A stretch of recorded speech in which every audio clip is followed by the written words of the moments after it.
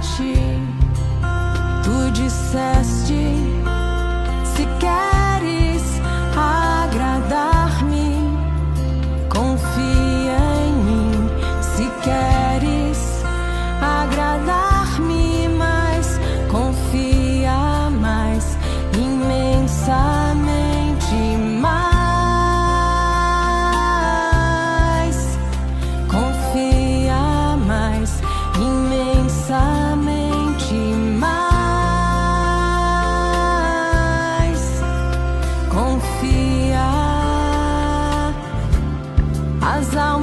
Para